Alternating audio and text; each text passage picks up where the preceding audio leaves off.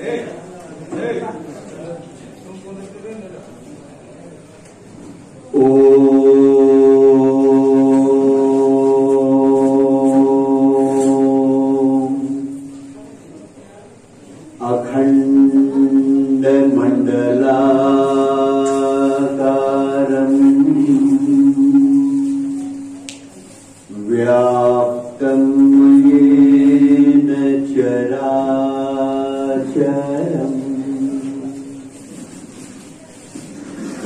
पदम् दर्शितम्।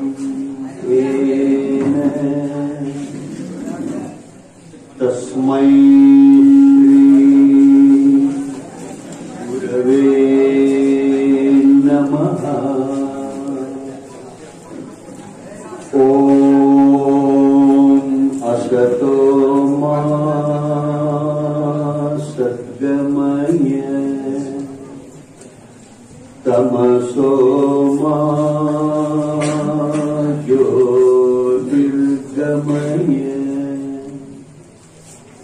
मृत्योर्मा मृतङ्गमय ॐ शान्ति शान्ति शान्तिः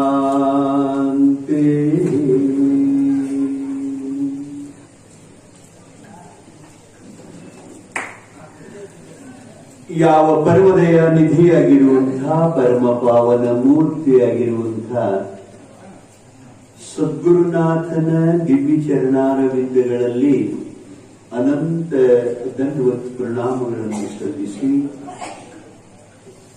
ಅಧ್ಯಾತ್ಮ ವಿದ್ಯಾ ಸಂಪ್ರದಾಯ ಕರ್ತೃಗಳಾದ ಸಮಸ್ತ ಗುರು ಪರಂಪರೆಗೆ ಎಲ್ಲಾ ಸತ್ಸಂಪ್ರದಾಯದ ಮಹಾಜ್ಞಾನಿಗಳಿಗೆ ತ್ರಿಕರಣ ಪೂರ್ವಕವಾಗಿ ವಂದಿಸಿ, ಈ ಸುಕ್ಷೇತ್ರದ ಒಡೆಯನಾಗಿರುವಂತಹ ಮಹಾ ಮಹಿಮಾಶಾಲಿಯಾದ ನಂಬಿದ ಸಮಸ್ತ ಭಕ್ತರ ಪಾಲಿಗೆ ಕಾಮಧೇನು ಕಲ್ಪ ವೃಕ್ಷನಾಗಿರುವಂತಹ ಶ್ರೀ ಮಲ್ಲಿಕಾರ್ಜುನ ಮಹಾಸ್ವಾಮಿಯ ಪಾದಾರವಿಂದಗಳಲ್ಲಿ ಅನಂತ ವಂದನೆಗಳನ್ನು ಸಲ್ಲಿಸಿ ಶ್ರೀ ಮಲ್ಲಿಕಾರ್ಜುನ ದೇವರ ನೂತನವಾಗಿ ಹದಿನೈದು ಲಕ್ಷ ರೂಪಾಯಿ ಖರ್ಚು ಮಾಡಿ ನಿರ್ಮಿಸಿರುವಂತ ಗಡ್ಡಿದ್ದೇರು ಈ ರಥೋತ್ಸವದ ಲೋಕಾರ್ಪಣೆ ಹಾಗೂ ಜಾತ್ರಾ ಮಹೋತ್ಸವದ ಈ ಶುಭ ಸಂದರ್ಭದಲ್ಲಿ ಈ ಧಾರ್ಮಿಕ ಸಭೆಯ ಪಾವನ ಸಾನ್ನಿಧ್ಯವನ್ನ ವಹಿಸಿಕೊಂಡಿರುವಂತಹ ಪರಮ ಪೂಜ್ಯರಾದ ಪ್ರಾತ ಸ್ಮರಣೀಯರು ಆದ ತ್ರಿಕಾಲ ಪೂಜಾ ನಿಷ್ಠರೂ ಆಗಿರುವಂತಹ ಶ್ರೀ ಷಟ್ಸ್ಥಲ ಬ್ರಹ್ಮ, ಪೂಜ್ಯ ಶ್ರೀ ಬಸವಲಿಂಗ ಮಹಾಸ್ವಾಮಿಗಳ ಶ್ರೀಚರಣಗಳಲ್ಲಿ ಅನಂತ ವಂದನೆಗಳನ್ನ ಸಲ್ಲಿಸಿ, ಒಟ್ಟಾರೆ ಈ ಕಾರ್ಯಕ್ರಮದಲ್ಲಿ ಪಾಲ್ಗೊಂಡು ತಮ್ಮ ಹಿತವಾದ ಮಿತವಾದ ನಾಲ್ಕು ಮಾತುಗಳನ್ನ ಹೇಳಿ ದಯಮಾಡಿಸಿರುವಂತಹ ಎಲ್ಲ ಮಹಾನುಭಾವರಿಗೆ ವಂದಿಸಿ, ಇಲ್ಲಿ ಸೇರಿರುವಂತ ಯಾವತ್ತೂ ಎನ್ನ ಗುರು ಹಿರಿಯರಿಗೆ, ಮಹಾನುಭಾವರಿಗೆ, ಎನ್ನ ಸಮಸ್ತ ತಾಯಂದಿರಿಗೆ ಅನಂತ ವಂದನೆಗಳು. ಎನ್ನಾತ್ಮೀಯ ಬಂಧುಗಳೇ, ಪರಮ ಪವಿತ್ರವಾಗಿರುವಂತಹ ಈ ಶುಭ ಸಂದರ್ಭದಲ್ಲಿ ಇಲ್ಲಿವರೆಗೆ ದಾನಿಗಳ ಸನ್ಮಾನ ನಡೆಯಿತು. ಅನೇಕ ಮಹಾನುಭಾವರ ಹಿತೋಪದೇಶವು ಕೂಡ ನಡೆಯಿತು ನಾನು ನಮ್ಮ ಪ್ರವಚನ ಕಾರ್ಯಕ್ರಮನ ಕ್ಯಾನ್ಸಲ್ ಮಾಡಿದರೇನೋ ಅಂತ ತಿಳ್ಕೊಂಡಿದ್ದೆ. ನಂತರದಲ್ಲಿ ಗೊತ್ತಾಗ್ತೋ ಇಲ್ಲ, ನಿಮ್ಮ ಕಾರ್ಯಕ್ರಮ ಅತಿ ಅಂತ ಹೇಳಿದ್ರು. ಕಸದೊಳಗೆ ಕರ ಮಾಡ್ತಂಗ ಆಗ್ತೇನೋ ಅಂತ ನನಗೆ ಅನಿಸಿತ್ತು. ಆದ್ರೂ ಕೂಡ ಸಮಯ ಕೊಟ್ಟಿದ್ದಾರೆ ಪುಣ್ಯಾತ್ಮರು. ಅವರಿಗೆ ಧನ್ಯವಾದಗಳನ್ನು ಹೇಳಿ. ಪುಣ್ಯಾತ್ಮರೇ, ಬಹಳ ಲಕ್ಷ್ಯ ಕೊಟ್ಟು ತಾವು ಕೇಳಬೇಕು. ಈ ಧಾರ್ಮಿಕ ಸಭೆಯ ಹಿನ್ನೆಲೆಯಲ್ಲಿ ಬಹಳ ಮುಖ್ಯವಾಗಿರುವಂತಹ ಒಂದು ಮಾತನ್ನ ತಮಗೆ ಹೇಳಬೇಕು ಅಂತ ನಾವು ಸಂಕಲ್ಪ ಮಾಡೀವಿ. ನೀವು ಶಾಂತ ಚಿತ್ತರಾಗಿ ಶ್ರವಣ ಮಾಡುವ ಭರವಸೆ ನನಗೆ ಕೊಟ್ರಿ ಅಂತಂದ್ರೆ ನಾಲ್ಕು ಮಾತುಗಳನ್ನ ನಾನು ಹೇಳುವ ಪ್ರಯತ್ನ ಮಾಡ್ತಾ ಇದ್ದೇನೆ. ನೆನಪಿರಲಿ ನಿಮಗೆ, ಪ್ರತಿಯೊಬ್ಬ ಸ್ತ್ರೀ ಪುರುಷರ ಮೇಲೆ, ನಾವು ಯಾವುದೇ ದೇಶದವರೇ ಇರಬಹುದು, ಯಾವುದೇ ವೇಷದವರೇ ಇರಬಹುದು, ಯಾವುದೇ ಭಾಷೆಯನ್ನ ಮಾತಾಡುವವರೇ ಇರಬಹುದು, ಯಾವುದೇ ಜಾತಿ, ಮತ, ಪಂಥ ಧರ್ಮಕ್ಕೆ ಸೇರಿದವರೇ ಇರಬಹುದು. ಇದು ಮುಖ್ಯ ಅಲ್ಲ. ಈ ಭೂಮಿ ಮೇಲೆ ಮನುಷ್ಯರಾಗಿ ಜನಿಸಿ ಬಂದಿರುವಂತಹ ಪ್ರತಿಯೊಬ್ಬ ಸ್ತ್ರೀ ಪುರುಷರ ಮೇಲೆ ಪಂಚ ಋಣಗಳು ಅಂತಿರ್ತವೆ. ಪಂಚ ಋಣಗಳು. ಆ ಪಂಚ ಋಣಗಳನ್ನ ಯಾರಿಗೂ ತೀರಿಸಲಿಕ್ಕಾಗಂಗಿಲ್ಲ ಆದ್ರೆ ಯಾರು ಈ ಪಂಚ ಋಣಗಳನ್ನ ನೆನಪಿನಲ್ಲಿಟ್ಟುಕೊಂಡು ಕೃತಜ್ಞತಾ ಭಾವದಿಂದ, ವಿನಮ್ರ ಭಾವದಿಂದ, ಸೇವಾ ಮನೋಭಾವದಿಂದ ಯಾರು ಬದುಕುತ್ತಾರೋ, ಅವರ ಬದುಕು ಸಾರ್ಥಕ. ಯಾರು ಈ ಪಂಚ ಋಣಗಳನ್ನ ಮರೆತು ನಡೀತಾರೋ, ಅವರ ಬದುಕು ನಿರರ್ಥಕ ಅನ್ನೋದನ್ನು ಮರೆತು. ಪಂಚ ಋಣಗಳನ್ನ ಅವು ಸ್ವಾಮೀಜಿಯವರ ಮೇಲೂ ಪಂಚವರ್ಣಗಳು ಋಣಗಳದಾವ ನನ್ನ ಮ್ಯಾಲೂ ಅದಾವ, ನಿಮ್ಮ ಮ್ಯಾಲೂ ಅದಾವ. ಅವನ ನೆನಪಿನಲ್ಲಿ ಇಟ್ಟುಕೊಂಡು ಬದುಕಬೇಕು ಅನ್ನೋದೇ ಬದುಕಿನ ಸಾರ್ಥಕತೆಯ ಮುಖ್ಯವಾದ ವಿಷಯ. ಹಂಗಾರೆ ಆ ಪಂಚ ನಮ್ಮ ಮ್ಯಾಲೆ ಯಾವ ಯಾವ ಅನ್ನೋದು. ಒಂದೇದು ಮೊಟ್ಟ ಮೊದಲನೆಯ ಋಣ. ಪರಮಾತ್ಮನ ಋಣ ಅಂತ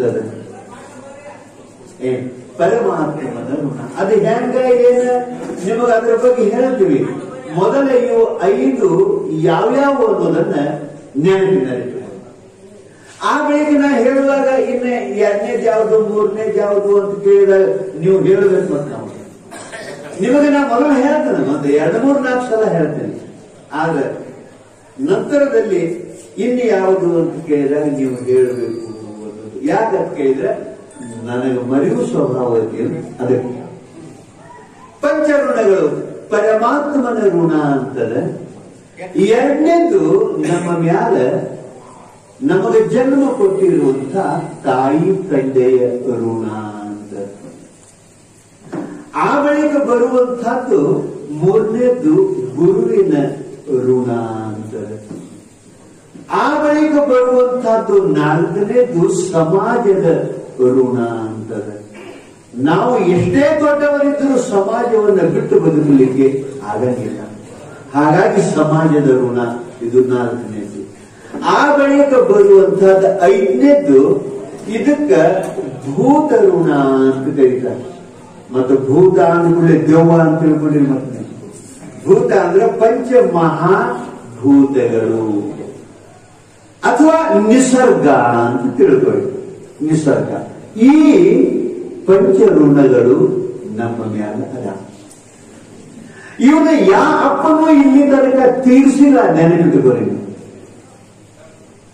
ಯಾ ಅವತಾರಿಗಳು ಕೂಡ ಈ ಋಣಗಳನ್ನು ತೀರಿಸಿಲ್ಲ. ತೀರ್ಸಕ್ ಆಗಂಗಿಲ್ಲ.